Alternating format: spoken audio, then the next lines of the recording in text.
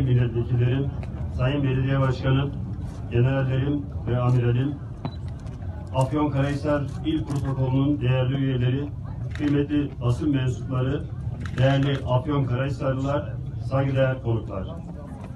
Başkomutan Gazi Mustafa Kemal Atatürk'ün 100 yıl önce bugün muharebeyi sevk ve idare ettiği Kocatepe'den her birinizi şahsım ve garnizon komutanlığı personeli adına sevgi ve saygıyla selamlıyor.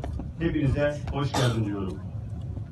Kıymetli konuklar, Sakarya Savaşı ile tarihi bir dönüş yapan Türk ordusu, istiklalini kazanmak için son hamlesini Başkomutan Gazi Mustafa Kemal Atatürk'ün önderliğinde Afyon'da başlatacaktı. Hedef, vatan topraklarında tek bir düşman askeri bırakmamaktı. 100 yıl önce, bugün Kocatepe, şu an üzerinde bulunduğumuz tepe, birliklerimiz yerlerini almış, atılmaya hazır aslan gibi. Bıraksan hemen uçacak. Başkomutan uyanık, zabitan heyeti uyanık, Mehmetçik uyanık, uyuya, uyuyan yok. Bekliyorlar gecenin fecrini. Her saniye bir asra yakın. Öylesine geçmiyor zaman.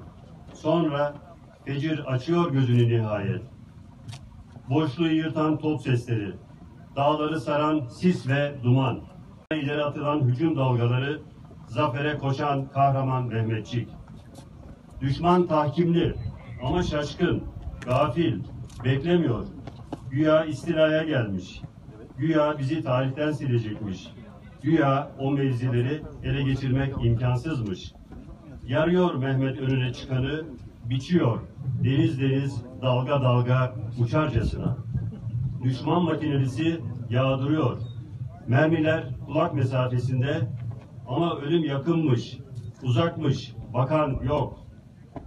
Düşüyor birer birer Kalecik Sivrisi, Belentepe, Tınaztepe, Çiğiltepe. Süvariler dört nala Sincanlı Ovası'na akıyor.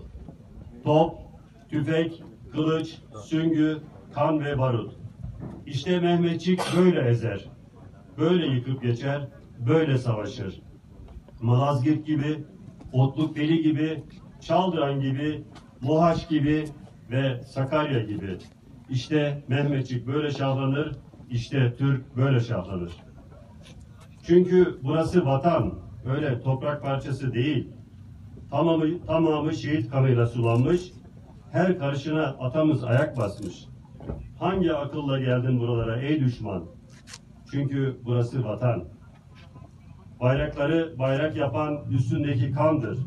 Toprak eğer uğrunda ölen varsa vatandır. Kıymetli Afyonkarahisarlılar, zafer geliyor elbet. Vatan mevzu bahis, inanç yüksek. Ama gazilik bol, şehadet çok. Üsteğmen Agah, 36. alayın 6. bölük komutanı. Kalecik Sivrisi, hemen karşınızda. Yılmayın evlatlar diyor, durmak yok. Askerin önünden, kopuyor yerinden ve yıkılıyor birden. Bir çınar gibi. Biraz gecikince Çiğiltepe yediremiyor kendine Yiğit Reşat Yarbay. Ve daha niceleri. Yüz yıl geçmiş ama hala Mehmetçiğin ayak izleri duruyor. Sanki bu tepelerde.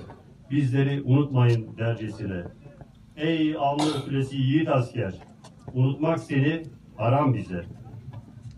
Bu vatan toprağın kara bağrında sıra dağlar gibi duranlarındır.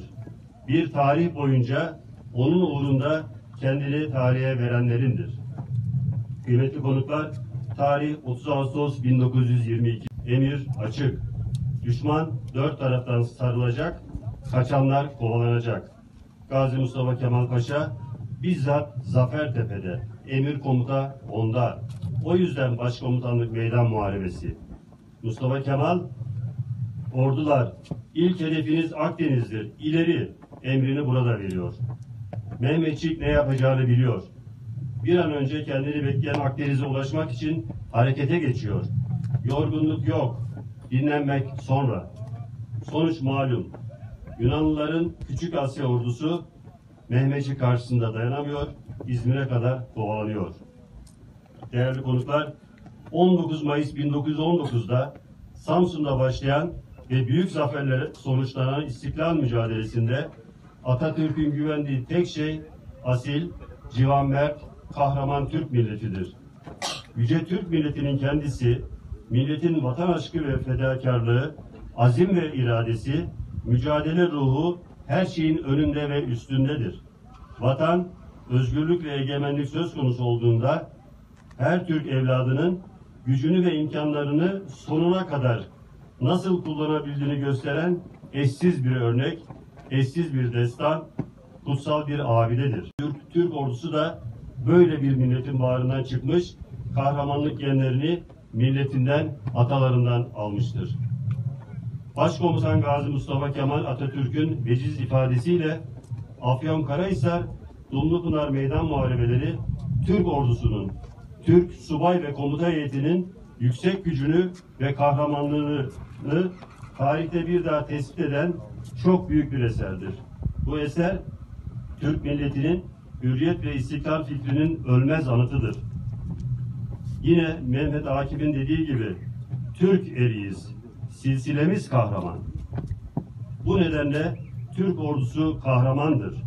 Değerli konuklar, Yüce Türk milletinin bir evladı olarak her birimiz bu nedenle zaferleri insanlık tarihiyle başlayan ve her gittiği yere zaferle birlikte uygarlık ışıkları götüren kahraman Türk ordusunun ferdi olmanın gururunu taşıyoruz.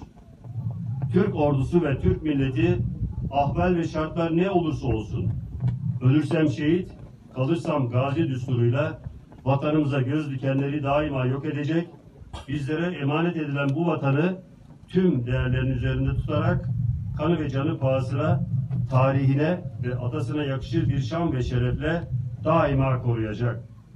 Bağımsız Türkiye Cumhuriyeti ve Necip Türk milleti dünya durdukça var olacaktır. Şüphesi olmasın. Korkma, sönmez bu şafaklarda yüzen al sancak, sönmeden yurdumun üstünde tutan en son ocak.